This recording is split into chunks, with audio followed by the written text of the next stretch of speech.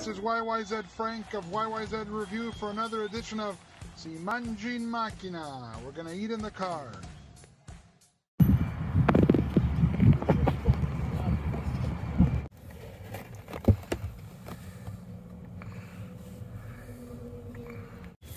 Good day, YYZ Frank of YYZ Review for another edition of Si Manjin Machina. We eat in the car 2021 Cannoli Edition. Now, the other day I posted on my uh, Instagram uh, places that I should try and whatnot, and Caldense Bakery came up. Now, Caldense is known for the Portuguese bakery. They have quite a few locations in the Toronto area. Um, so I decided to go there.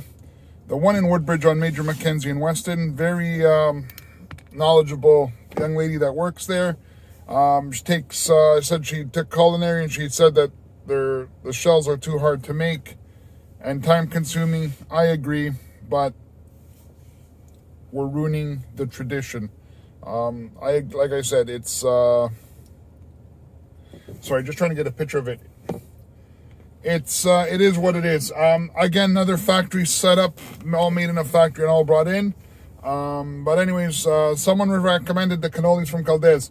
Uh, listen, Caldense for the longest time, we're known for this.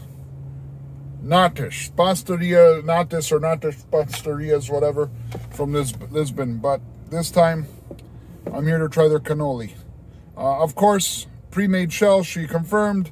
Two-time consuming. Uh, price point, five bucks, five fifty for both the cannoli and the natish. So let's say three, three and change for the cannoli ricotta with the drizzle of chocolate. First time I've seen that, drizzle of chocolate. So let's see how she goes.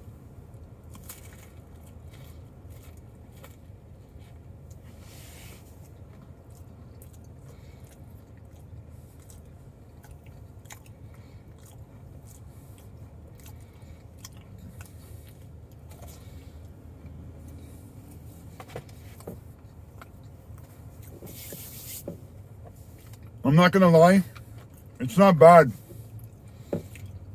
Um, I'm not gonna,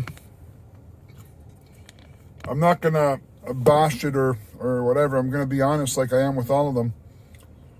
Um, the shell is uh, crunchy, not as crunchy as normal. You can normally hear the crunch when I take a bite into it. Uh, the shell. Uh, the ricotta is um, just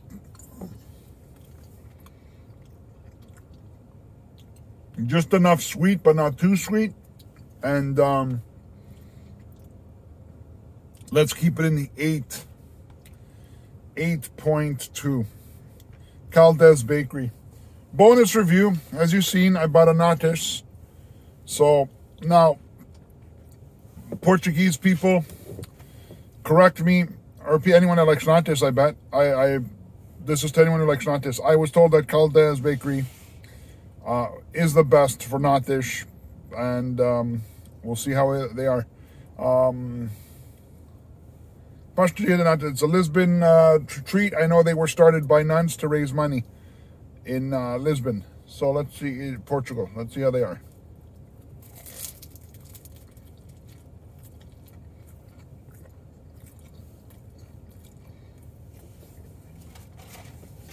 Yeah.